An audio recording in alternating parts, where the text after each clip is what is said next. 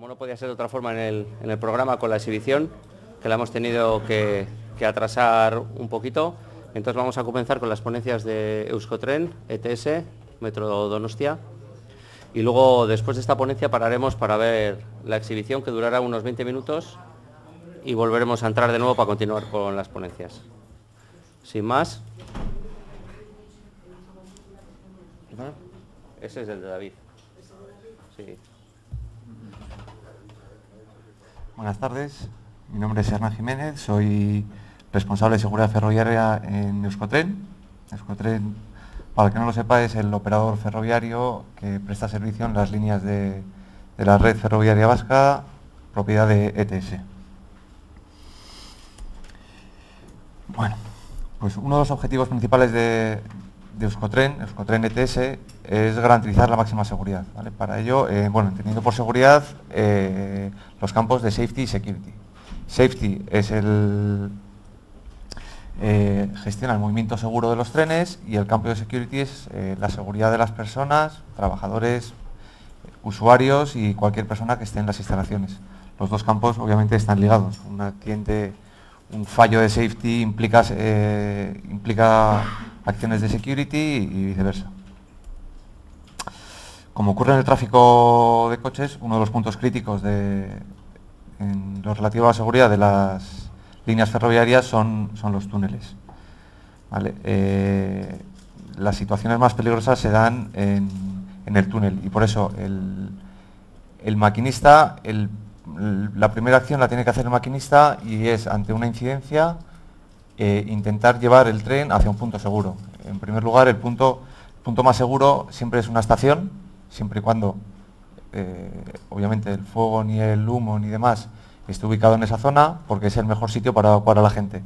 Si no puede entrar en una estación de manera segura, intentará dejar el tren eh, fuera del túnel. Y si no es posible dejar el tren fuera del túnel, pues habrá que poner los medios suficientes para gestionar la incidencia lo mejor posible. Para ello están ETS e y Euskotren, cada uno en su campo. ETS, como gestor de la infraestructura, tiene que poner los medios técnicos, primero, para minimizar el incidente y segundo, para eh, garantizar la evacuación de la gente lo mejor posible, si fuera necesaria.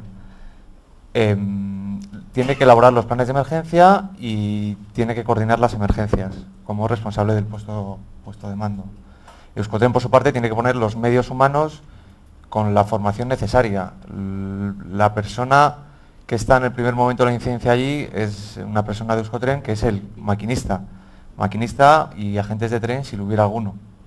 Vale, entonces estas personas tienen que estar, tienen que tener la formación suficiente para saber gestionar la incidencia y saber gestionar el grupo de personas que tienen allí, eh, que tienen el tren. Veremos, un tren puede llegar a tener, hasta 400 personas. Bueno, pues eh, hay que mm, saber llevarles. ¿vale? Y además tiene que poner los medios técnicos suficientes para poder gestionar a esa gente, gestionar la incidencia y, si fuera necesario, evacuar el tren lo más rápidamente posible. Eh, bueno, recientemente ha hecho un importante esfuerzo inversor, ha comprado 30 trenes nuevos que mejoran el confort y sobre todo la seguridad. Ahora daremos, un repaso a un poco las medidas de seguridad que, incorporan estos nuevos trenes. Eh, estos nuevos trenes también tienen un aumento de capacidad, lo cual bueno, pues también incrementa la dificultad en, situaciones de emergencia. Cuanta más gente haya, más complicado es gestionar la situación. Pues, como os he dicho, eh, uno de los aspectos que se ha tenido más en cuenta a la hora de, diseñar eh, este nuevo tren ha sido la instalación de los elementos eh, de seguridad que facilitan la gestión de incidencias. ¿vale? Pues la comunicación maquinista con los viajeros, lo que es interfonía y megafonía, el, vídeo embarcado, la comunicación tren-tierra, comunicación entre el maquinista, el puesto de mando y maquinista y los equipos de emergencia y los sistemas de evacuación del tren. En cuanto a la megafonía y la interfonía, eh, son sistemas básicos para poder, para que el, maquinista tenga comunicación mm, con todos los usuarios del tren. En los momentos de incidencia lo más peligroso es que cada uno actúe, que los usuarios actúen por su cuenta, abriendo puertas, saliendo y demás, y es el maquinista un poco el que les tiene que dar las pautas de lo que tienen que hacer. Y los usuarios no pueden sentirse olvidados y no pueden sentirse que no están atendidos. Si los usuarios se sienten no atendidos, se pueden dar casos, mm, eh, situaciones de caos en la que cada uno actúe por su cuenta y entonces ponga en peligro tanto su vida como la vida del resto de, usuarios. ¿vale? Megafonía, todos los trenes disponen de megafonía tanto con emisión local como emisión remota. Puede hablar el maquinista o puede hablar el puesto de mando con la gente. ¿vale? Eh, así libera al maquinista de, esas tareas en ciertos momentos. La interfonía, pues interfonía estándar, adaptada para personas de movilidad reducida, e interfonía tipo T para, para, personas con discapacidades auditivas. ¿Vale? Eh, la interfonía es solo local.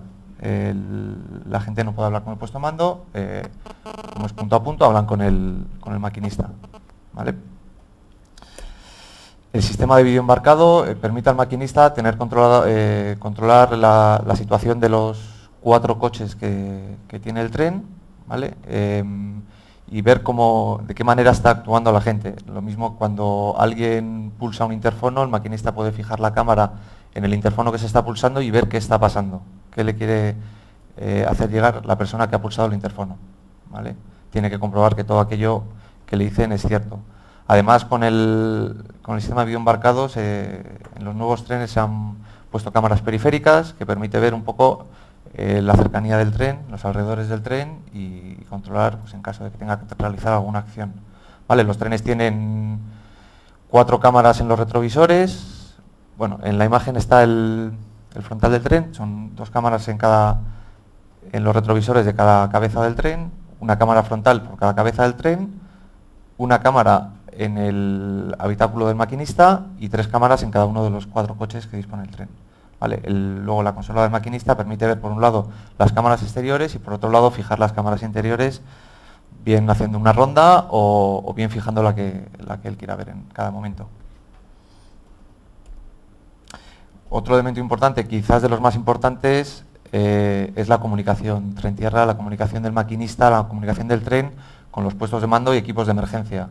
Vale, para ello se disponen, todos los trenes disponen de una línea UHF con repetidores propios, cobertura 100%, eh, son todo con antenas directivas y algo de cable radiante en zonas de túnel complicadas, de visión complicada, y, es la línea principal que se, utiliza, ¿vale? La radiotelefonía, la radiotelefonía del tren. Abajo a la derecha está la consola, que es la misma que utiliza, que utiliza Renfe. Luego una línea VHF, es PMR, repetidores externos a Euskotren, con lo cual en las zonas de túneles no hay cobertura. ¿vale? Los nuevos trenes sustituyen esta, esta línea VHF que tenían los trenes antiguos por una línea tetra de doble canal, voz datos, alternar, pueden ser los dos canales de datos, los dos canales de voz, hay prioridades, con lo cual bueno, nos, permite, eh, nos permite jugar mucho y tener mucha capacidad de gestión, nos permite que alarmas que se generan en el tren eh, bueno, el Tetra va a tener cobertura 100%, entonces las armas que se genera el tren y que son muy críticas pueden ser enviadas por el canal de datos que incorpora a los puestos de mando, pues, eh, puestos de emergencia, puestos de mantenimiento y demás. Además, como tercer sistema redundante, se ha dotado a todos los trenes de un, móvil estándar GSM, que bueno, pues permite ante caídas de tensión del tren, se quede sin tensión, sigues teniendo algún elemento de comunicación y bueno, pues no dependes de ningún... Es otra tecnología, de, bueno, pues añades una diversidad de medios que te permite estar conectado. Tiene el mismo problema que el VHF, VHF que el PMR, no tiene cobertura en los túneles generalmente.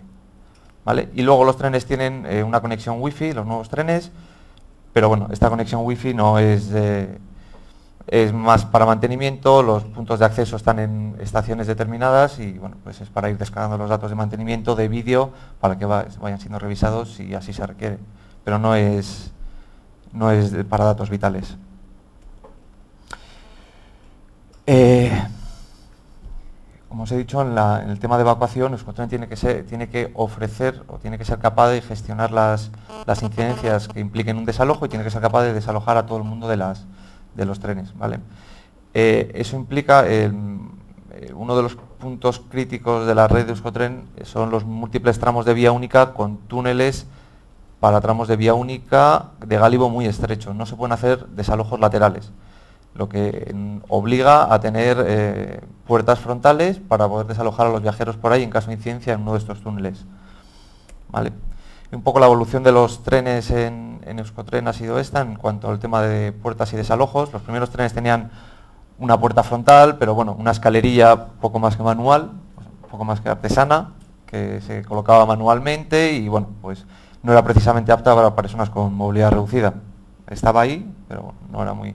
Y lo mismo una escalería para las, para las puertas laterales. Eh, luego la serie 300 ya incorporaba una, una escalera de evacuación frontal, pero no tenía ningún elemento de evacuación lateral y la serie 200 volvemos a que solo tiene una escalera lateral, ¿vale? tampoco apta para personas de movilidad reducida. Los nuevos trenes equipan escaleras de, evacuación con barandilla, tanto frontales como laterales. Dos en los frontales, en cada uno de los frontales, y dos, uno en cada uno de los laterales en la mitad del tren. ¿vale? Unas fotos de un, de un simulacro que luego, que luego os contará mi compañero. Estos son los puntos donde están las escaleras, en los dos frontales del tren y en el lateral, en la zona media, por un lado y por el otro. Son cuatro, puntos de evacuación en total. Además de estos puntos de evacuación, todo, todos los todos los, todas las puertas tienen un tirador de desbloqueo que permite una apertura muy sencilla de la puerta, accionando el tirador y empujando un poco la puerta, eh, se pueden abrir todas las puertas. La altura de la puerta al suelo es de un metro cincuenta, 1,05 con lo cual, eh, una persona que no tenga movilidad reducida puede salir tranquilamente por ahí en casos de, mucha emergencia y dejar la salida, las escaleras de evacuación para personas con la movilidad reducida. Tenemos que, en el caso más extremo, habría que evacuar 400 personas, con lo cual toda la ayuda que se consiga evacuando a la gente por estos sitios, pues, pues mejor, dependiendo de la urgencia del, del esto. Aquí tenemos, bueno, pequeño plano esquemático con los diferentes equipos de seguridad y de evacuación, interfonía, eh, desbloqueo de puertas, tiradores de alarma. Estos son los dos coches centrales, un esquema de los dos coches centrales del tren. Esto es un coche central y, un coche de cabeza. Aquí tenemos la dotación de seguridad de los, de los, de los trenes, extintores, botiquines, linternas y demás. normal, incluyen todos los trenes. Y otros elementos de seguridad que incluyen los trenes son sondas de detección de, humo con alarma local y remota a través de los canales TETRA, que nos permiten en tiempo real recibir esa alarma en los puestos de mantenimiento, operaciones, emergencia que, queramos. Eh, alumbrado de emergencia, por supuesto, bajada manual de pantógrafos. Eh, los pantógrafos de los trenes hoy en día son, son eléctricos y el problema es que cuando hay una incidencia el pantógrafo no se baja solo, Ah, y luego, si vuelve la electricidad, eh, podríamos tener un problema, un riesgo eléctrico bastante importante. Entonces, bueno, ahora incluyen una bajada manual, que es muy útil. Luego, los trenes ahora también, no se dice aquí, son estancos, ya no tienen ventana, con lo cual, ante una situación de humo en túnel, eh, se puede aislar el tren del exterior y si no es necesario, desalojarlo, eh, no entraría el humo en el interior, provocando, evitando, evitando intoxicaciones.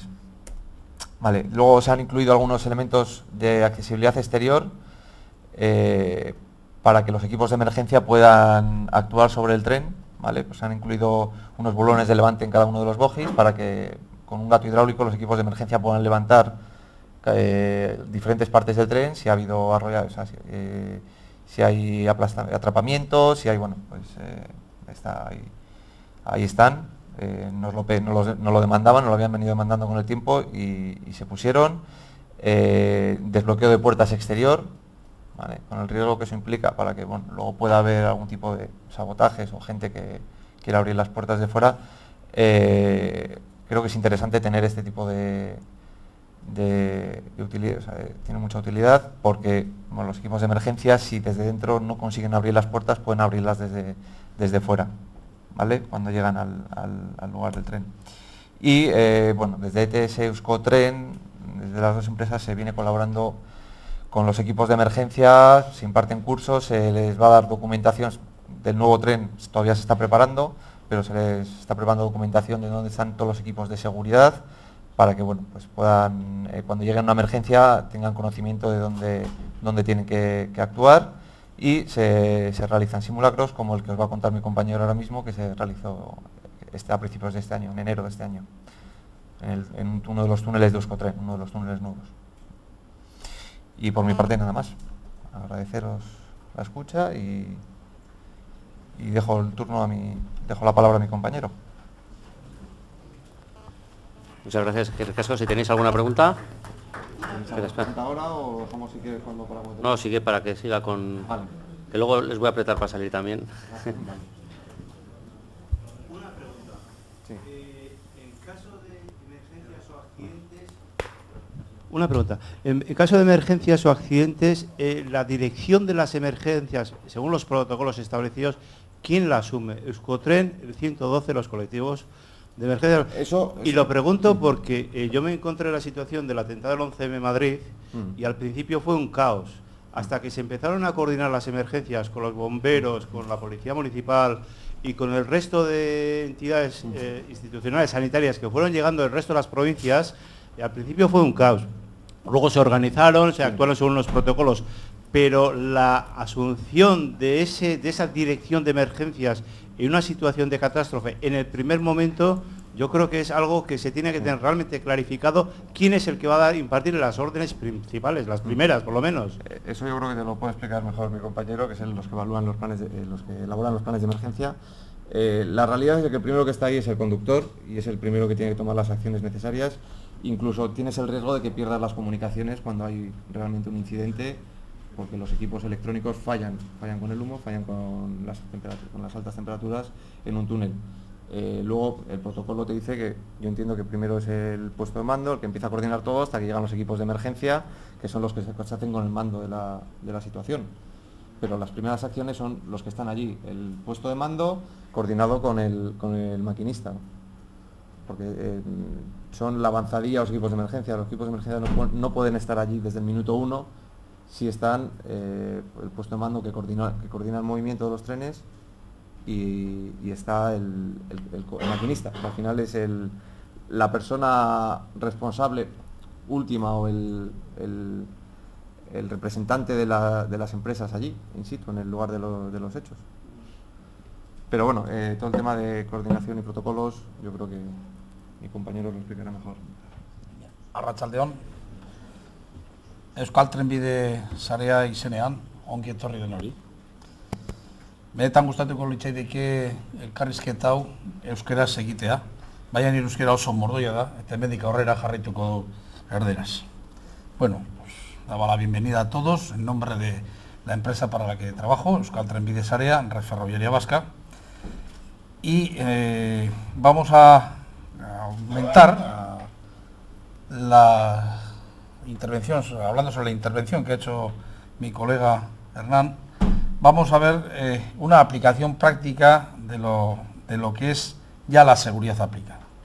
Es decir, vamos a ver un simulacro que desarrollamos en el mes de enero de, este año, eh, en el que intervienen todos los estamentos. Ha habido aquí un contertulio que nos ha hecho una pregunta, muy, muy buena pregunta, por cierto, y que creo que va a tener la oportunidad ahora de, comprobar cómo se organiza eh, una historia como esta. Hay que tener en cuenta que la historia a la que él se ha referido, del 11M, eh, eso es más que un incidente. Eso es mucho más que un incidente. Eso es una catástrofe para la que inicialmente Renfe no estaba preparada y creo que nadie está preparado para una catástrofe de este estilo. La reacción. Lo que se ha hecho después han seguido los planes que estaban establecidos y con eso han conseguido eh, pues, solucionar un problema de tan tamaño tan, tan magno como fue aquel. Bien, la creación de un simulacro comienza con la elección de qué tipo de simulacro se va a hacer. Hay dos tipos de simulacros, como veremos a continuación. Pero inicialmente nosotros desarrollamos lo que es un programa, bueno, vamos a ver aquí la presentación esta. Tenemos pantalla completa. Ah, este es de los que le han puesto esto, este nuevo sistema. ¿Dónde viene esto aquí de presentación? Este, este programilla no le manejo yo. Aquí. Aquí. ¿Este? Bien. ¿Cómo se llama este invento que han sacado ahora? Yo ando un poco perdido con este nuevo disfraz del... Bien, vamos a recrearnos una situación real vivida en enero de este año, ahí en Lugaritz, aquí en las proximidades de San Sebastián, Donosti, y eh, empezaremos eh, por ver qué tipos de simulacros hay. Disponemos de dos tipos de simulacro, lo que sería el simulacro de demostración, en el que debemos preparar antes que ensayar, lo cual eh, anularía el efecto sorpresa que debe dar eh, la simulación. Este tipo de simulacro solamente tiene el ejemplo didáctico, nos sirve para enseñar en el campo formativo de lo que tenemos que hacer, cómo lo vamos a hacer. Y luego nos queda el simulacro de comprobación, que es en realidad lo que vamos a hacer es ensayar sin preparar, es decir, tal y como nos podría ocurrir. Una vez que se ha hecho este ensayo, es muy importante obtener la valoración de respuesta, es decir, habrá un informe final, todo este proceso acabará con un informe final donde se analizará qué es lo que se ha hecho, cómo se ha hecho, por qué se ha hecho y en qué nos hemos fundamentado, dónde acertamos, dónde nos equivocamos, qué cosas tendremos que pulir, cuál que corregir, en fin, para ir mejorando en proceso continuo toda esta operación. Bien, nos vamos a situar, nos vamos a poner en situación y vamos a ir describiendo lo que es el túnel de Lugaris para los que no lo conozcan. Entonces es un túnel de nueva construcción dotado con ventiladores e iluminación. Aquí hay que tener en cuenta, este túnel ha sido elegido porque era el, digamos, de, la- de lo más moderno que tenemos, que los túneles, y en líneas tan antiguas como esta Euskal Trenbide Sarea, eh, no tienen esta estructura mayoritariamente.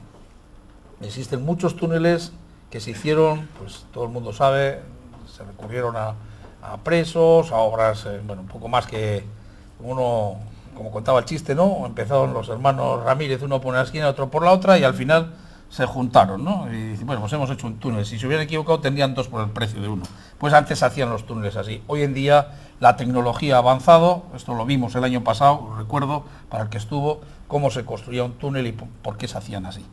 Bien, pues nos vamos a situar en este túnel moderno. Tenemos un túnel de nueva construcción dotado con los últimos adelantos en materia de ventilación y de iluminación. Hay que recordar que Euskal Trenbide Sarea, todos los túneles con distancia superior a 300 metros, una longitud superior a 300 metros, están dotados de iluminación eh, interna. Es un- una cosa que se ha hecho aproximadamente unos 6 o 8 años, porque antiguamente los túneles eran todos pues, como la boca al lobo. Bien, el túnel concretamente comienza en el kilómetro 105, 583, aquí en Donosti. Ahí está su boca de entrada, digamos, para los trenes que proceden del lado de Bilbao. Y después de recorrer 1847 metros, es un, túnel ya de longitud bastante respetable, los hay más grandes que estos, y eh, va a salir en el kilómetro 107-430, ya prácticamente eh, a la entrada de, de- Donosti, al disco de entrada de Donosti, aquí en Amara, y ahí llegará el túnel, ¿no? Bueno, pues esta es la característica. Entonces, el problema que nosotros enunciamos era el siguiente. Nos pusimos en una situación en la que un tren se detenía dentro del túnel a unos 900 metros de las bocas de acceso, más o menos en el medio del túnel, para dificultarnos más la, eh, el problema. Había humo, luego fu- fuego también, y nos encontramos con heridos de diversa consideración y incapacitados físicos. Bien, la emergencia, y aquí dará parte a la respuesta que nos ha pedido antes el, contertulio, va a iniciarse en una acción del maquinista, porque es la primera persona que va a vivir la situación. Entonces el maquinista inmediatamente procederá a comunicar con el puesto de mando. El puesto de mando, que en el caso de las redes que administra Euskal Trenbide Sarea existen dos, uno en- aquí en Donostia, en Amara, el otro en Bilbao, en, en Achuri, donde existe un servicio de 24 horas. Hay un jefe de circulación que con sus eh, operadores de puesto de mando, durante las 24 horas del día, los 365 días del año, se encuentra en regulación tanto de la circulación ferroviaria para garantizar que ésta se hace siguiendo los criterios eh, que marca el reglamento, es decir, para tener una circulación eficaz y segura, y eh, aparte de eso va a gestionar las emergencias. Las emergencias que vamos a dividir en tres grados, serían emergencias de primer grado, de segundo grado y de tercer grado. Entonces, la primera emergencia, en la que solamente bastaría con la, eh, el recurso propio del puesto de mando, la resolvería él directamente. Pues una avería, una enganchada, una, digamos, una cosa técnica o, o algo pues, que en lo que del puesto de mando con sus medios puede resolver. En el momento que la situación empieza a requerir la presencia de, hay que evacuar gente, se necesitan bomberos, se, necesita ayuda externa, será el puesto de mando, a través del jefe de circulación, el que inicie un doble proceso. Por una parte, eh, llamará a SOSDEIA, al 112, y por otra parte, eh, va a poner en movimiento los recursos técnicos y los medios humanos que el operador ferroviario tenga y el apartado de, mm, bueno, y, nuestro propio personal de ETS. Entonces, ya tiene enfocada lo que es la situación, es decir, eh, esta misma situación pudo pasar en Madrid, los maquinistas darían cuenta a sus puestos de mando y los puestos de mando empezarían a pedir ayuda al 112 y a partir de ahí, de ese momento, es cuando la ayuda externa eh, se hace cargo. La ayuda externa eh, va a poder, tiene todavía un grado más, en el que ya intervendría, llegaríamos a la catástrofe, ¿no? Entonces ya incluso se crearía la mesa de, trabajo en la que eh, intervendrían, pues, si es necesario, hasta las más altas autoridades de la comunidad autónoma e incluso del país, si la cosa fuera pues de, que llegase a ese ámbito, ¿no? hubiese que utilizar medios navales para, para evacuar, o hubiese que traer a la Marina o, a la aviación o a la unidad militar de emergencias o a quien fuese necesario. Bien, vemos que Sordella va a movilizar sus recursos de emergencia y lógicamente, como hemos dicho, los recursos propios que nosotros vamos a, a manejar. Bien, esto es como se tendría que hacer y cómo se hace. Bien, una vez que ha ocurrido el incidente y este alcanza el nivel de mayor de, emergencia, de nivel 2, pues entonces eh, se va a recurrir o intervendrá eh, una autoridad puesta por el gobierno vasco, un responsable de emergencias del gobierno vasco, que es quien se trasladará sobre el terreno y a partir de ese momento será la autoridad que eh, coordine a todos los estamentos que son necesarios. Mm, el puesto de mando deja de tener ya esa responsabilidad que tenía inicialmente para que esta persona sea eh, quien eh, asume el, mando y todos quedamos a sus órdenes. Bien, eh, una vez comunicada, iniciada la, la operación del socorro, nos encontramos con una dificultad, pero además fue, curiosamente, en el minuto número uno, y la sufro yo en persona. Eh, la actuación esta eh, comienza con una llamada mía por teléfono para decir, ya estamos todos aquí, ya podemos empezar. Bueno, cojo mi teléfono, llamo y mi teléfono no sirve. Los teléfonos móviles, pues en dentro de un túnel, son un estorbo. No dan la capacidad de comunicación necesaria. Por eso estamos trabajando, lo ha presentado él en el sistema Tetra, que te permite una cobertura 100%, se está desarrollando ya todo este plan, está muy avanzado, no creo que se tarde ya mucho tiempo en, empezar a, operar con él.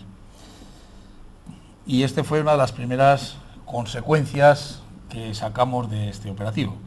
Bien, también hay que tener en cuenta que aunque parece un incidente grave, no se puede uno aquí eh, ir con el móvil, llamar porque no te oyen, eh, también es verdad que dado llegado el momento, eh, ningún accidente empieza porque un observador externo diga mm, vamos a empezar a tener un incidente. El accidente no surge así, el incidente surge espontáneamente. Nadie sabe por qué ha llegado, pero ahí está.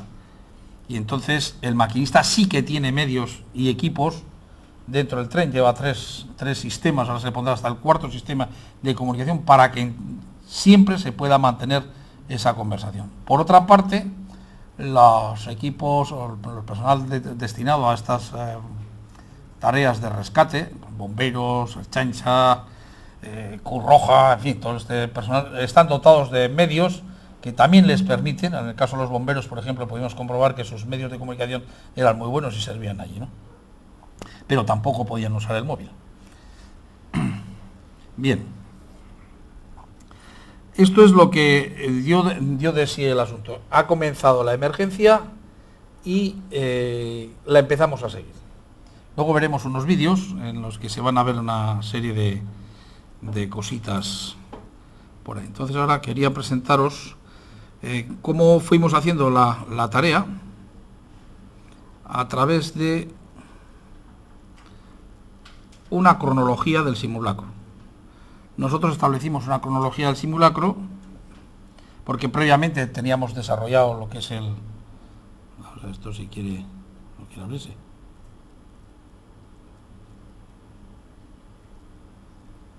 Un poco más lento lo que esperaba.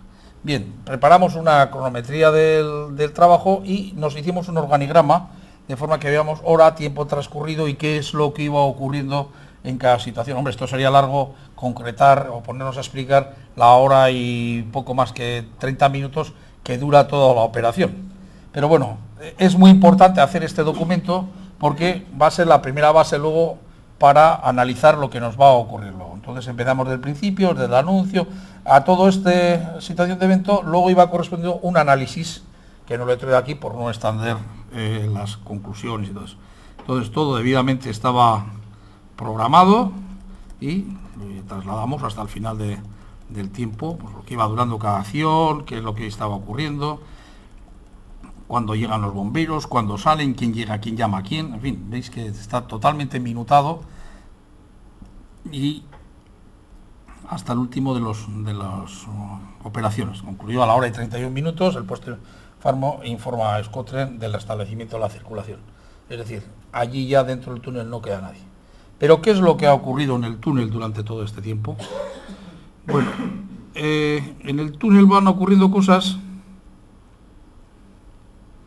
como estas. Bueno, aquí tendríamos lo que sería el planteamiento teórico, lo que hemos dicho, que había un simulacro eh, que era, digamos, el teórico, el que se pone para enseñar, y lo teníamos nosotros definido. Claro, los incidentes no ocurren nunca según las normativas, los simulacros y todo lo que le hagamos. Ellos tienen su propio régimen, su propio seguimiento y según eso actúan pero lógicamente de alguna manera siempre los podemos prever o prever cosas para tratar de ajustarnos a ese patrón. Cada vez que intentemos llegarnos al patrón que hemos trazado con el simulacro, pues mm, nos ajustaremos mejor a darle unas soluciones más rápidas. Pero indudablemente, aparte de todo esto, hay que tener una capacidad de sorpresa y de reacción, es decir, no solamente nos bastará tener el plan A, que sería el simulacro, el B, el C, y no discuto que no sería malo tener hasta el J. ¿eh?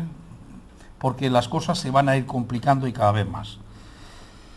Eh, alguno ha podido deparar que en la situación que nos encontramos dentro de un túnel hay un problema muy grande, ¿no? que será la, eh, visibilidad, ¿no?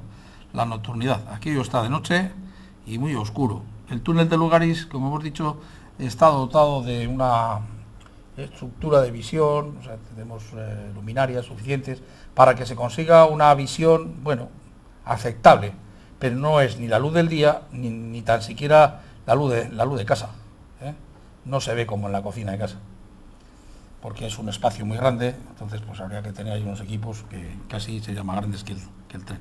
Entonces ahora vamos a ver aquí un poco unos vídeos, eh, son muy breves, vamos a ver el primero es este, No, este no es el primero. Es el más grande de todos.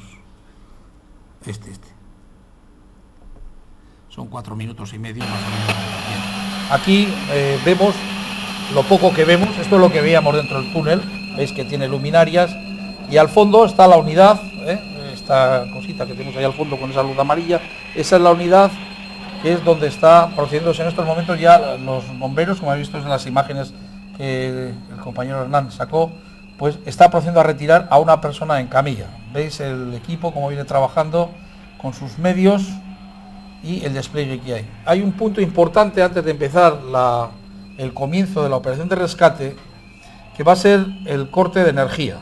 Nosotros disponemos en, la tensión de catenaria son 1500 voltios de corriente continua y eh, lógicamente el poner en contacto la catenaria con el carril supondría primero eh, un cortocircuito, con lo cual se pararían las centrales y no tendríamos riesgo de electrocución, pero imaginémonos que alguien no está debidamente protegido y se puede quedar electrocutado. Entonces, lógicamente, antes de entrar los bomberos, les tenemos que garantizar de que la corriente eléctrica, tanto de catenaria como de los equipos de, de media tensión, está cortada y que no hay posibilidad de que nadie se electrocute. Bien, una vez que se les ha garantizado eso, ellos proceden a salir del túnel. Observamos lo que es el túnel eh, moderno, que está dotado, bueno, oscuro, con sus luminarias, pero aquí empiezan a salir al túnel auxiliar, que veis que tiene escaleras y que tiene y que tiene su iluminación, se ve ya perfectamente, concretamente la persona que va por delante, la maquinista, ¿eh? ya ha salido con el último de los evacuados, es ella la que va guiando, será, es como el capitán del barco, es el último que va a abandonarlo. Eh, trasladar a una persona por ahí en camilla, colectivo de bomberos. Vemos que tiene unas escaleras, una dotación, que joder, pues aquí cualquiera evacúa a cualquiera, ¿no? Bueno, pues esta situación se da en este túnel. Tenemos otros túneles de construcción antigua y muy antigua, que son muy estrechos, en los que no tiene estos túneles de acceso. Por eso se está cambiando por ahí los nuevos túneles de Herrera, para suprimir el tráfico por el túnel de Herrera, que son de 1.400 metros también de longitud, pero hecho pues en los tiempos ya, tiempos ya hace muchos años, muy antiguo y que lógicamente no está dotado de la infraestructura porque en aquellos tiempos no se consideraba o no se tenía conciencia de la seguridad. Hoy en día construir un túnel como ese pues, pues sería impensable. ¿no? Bueno, vemos, a partir de aquí sale por un camino a los aficionados a la bicicleta, sale Salvidegorri, que, que corre por ahí, que era el antiguo trazado del, ferrocarril, antes íbamos por ahí con el tren. Y veis la diferencia, si os fijáis en el túnel, eh, los repliegues y contrarrepliegues que hace, de cómo era el túnel antes, por antiguamente circulaba, el tren, a cómo es hoy en día, ¿no? Las paredes son lisitas, todo está preparado.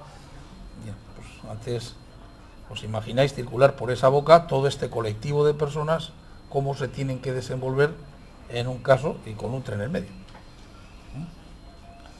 Bien, una cosa que te llama la atención de los bomberos es su organización. ¿eh? Yo me quedaba maravillado viéndoles cómo eh, los, unos se, dedicaban a rescatar, otros mandaban cómo hacerlo y a la puerta el jefe salía y iba contando 1, 2, 3, 4, Manolín, Fermín, está bien, escuadra 1 ¿eh? escuadra 2.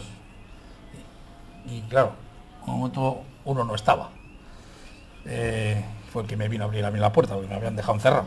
Y entonces enseguida estaba ahí buscándole, eh, no, espera, que ya llegamos aquí, que faltamos nosotros. Bueno, es que se continuó para allá sin ningún problema y bueno, ahí se procedió a la, a la evacuación ya del equipo de bomberos. Veis aquí este cómo está pasando lista de la gente que, que ha entrado y que ha salido. Es importante, claro, no ¿sabes? todos los que han entrado, para contar de todos los que han salido, no vayamos a dejarnos algo con, con sus equipos. Y en vez de tener un herido, pues tengamos un herido más uno, que nos hemos dejado allí. Bien, veremos ahora otra situación. En este caso va a ser la evacuación de la persona de la minusvalía. Es muy cortito, un minuto. ¿Eh? el trabajo improbo que hacen estos hombres equipados, tanto a una persona con silla de ruedas y todo, y claro, con sus equipos de sus EPIs personales. No sé ni cómo pueden trabajar con ello, pero lo hacen, lo hacen y muy bien además. los relevos. Ahí ya estamos en una zona segura, hemos abandonado el túnel, ya se supone que esa zona no hay, no hay humos y por lo tanto, después del esfuerzo que hay, porque tenían que venir, tenían unos 300 metros caminando de donde hemos visto el tren hasta la puerta de emergencia, tenían otros unos 300 metros. Ahí bajan también a por alguna persona. Bueno, es, es una bajada muy curiosa. Ya no quedaba nadie en el túnel. Entonces no sabían si echarle a la camilla o seguir por ahí.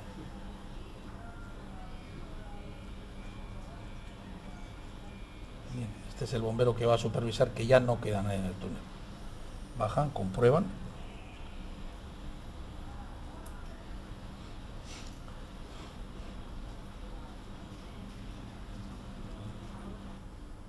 Bien, esos van a hacer la última verificación. Ellos son los que la hacen. Y lógicamente la- en el exterior se ha creado una infraestructura de seguridad en el que van a intervenir pues, tanto las policías municipales, Erchancha, eh, servicios médicos, eh, hospital de campaña y la persona que está eh, organizando, digamos, el técnico de seguridad del gobierno vasco, en este caso, que era el que dirigía ya la- las operaciones. Entonces, veis que la noche era cerrada, por cierto, hacía un frío bastante potente aquella noche. ¿Mm? Bueno, pues en el exterior se había organizado un hospital de campaña. Las imágenes pues no son de una calidad muy buena, también eran las 2 de la mañana ya. Bueno, ahí tenemos atendiendo a los, a los heridos con las mantas térmicas por aquí tienen al, al- de la minuaría, lo tienen por ahí. Bomberos, las unidades de ambulancia, Saquidecha, Protección Civil.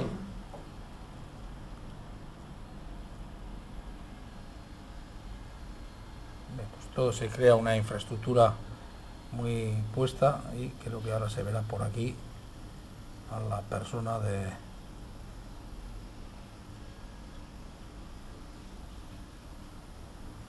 Ahí está en medio la persona que es del gobierno vasco que está con un panel pues comprobando lo que se va haciendo y cómo se va organizando. Si alguien veía en la serie aquella de Hospital Central, cuando llegaban, ¡ah, hay accidente de tráfico! y ponía una pantalla y empezaban a poner uno para aquí, otro para aquí, pues esta persona crea una pantalla de ese estilo y va viendo dónde están unos, dónde están otros, qué falta por aquí, qué falta por allá, quién está en este lado, quién está gobernando este tema y va de alguna manera coordinando las- la situación.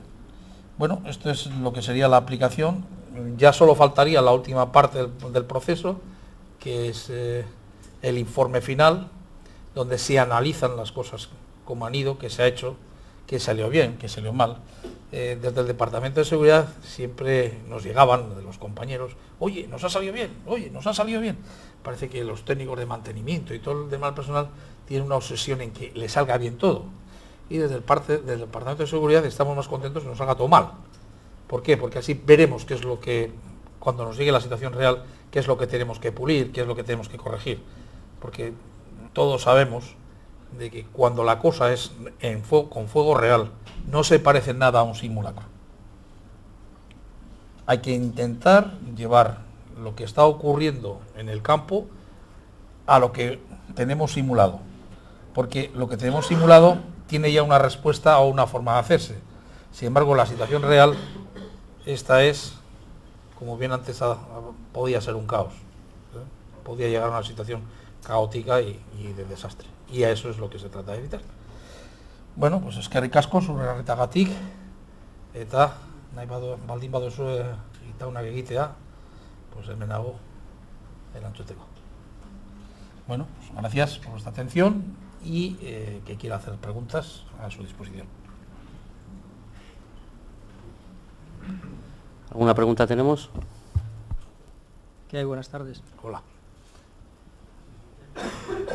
Eh, entendido por lo que has dicho que toda la responsabilidad de comunicación dentro de un túnel recae sobre, sobre el, el maquinista.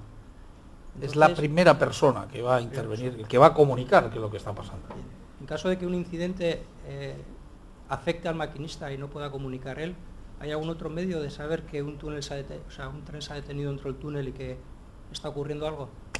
Técnicamente no existe otra disposición, porque en el tren prácticamente solo va una persona.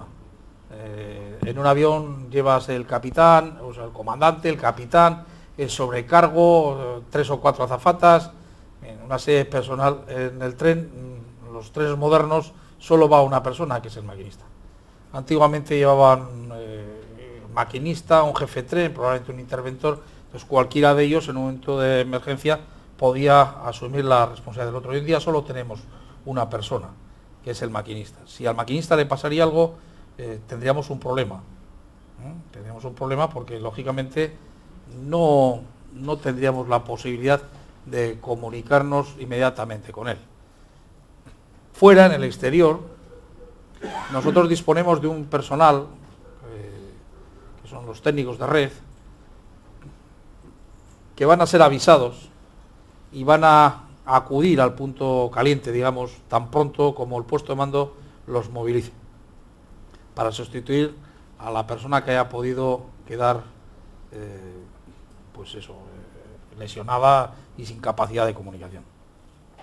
No nos preocupa tanto el término de la comunicación porque el, el tren la va a mantener siempre. Y luego, pues hay otro factor que siempre se desplazan en los trenes casi siempre se desplaza eh, personal, pues eh, técnicos de mantenimiento, otro personal ferroviario que inmediatamente vea que su compañero está mal, va a asumir la responsabilidad, esté o no esté fuera en su turno de trabajo. Pero efectivamente solo tenemos una persona que es la que nos puede mm, parar o sea, informar de lo que le está ocurriendo si esta persona sufre una incidencia. Tenemos otra forma de sopesar, eh, que está pasando algo, pues porque el tiempo va transcurriendo, el tren no acaba de llegar, no invade los circuitos.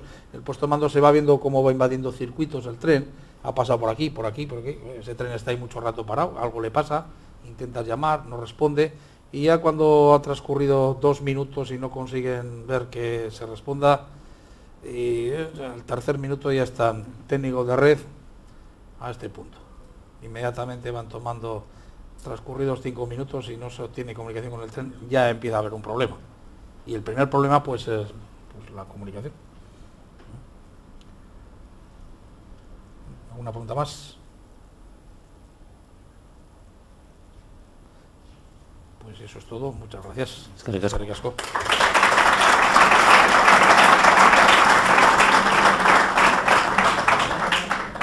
Bueno, ahora subimos, podemos subir arriba, al, mirando de frente al lado izquierdo, va a se va a hacer el ejercicio con perros de búsqueda, con perros guía. Entonces tenemos hasta las 5 de la tarde, ¿eh? unos 20 minutos. Que, te llevas la tecnología. ¿Eh?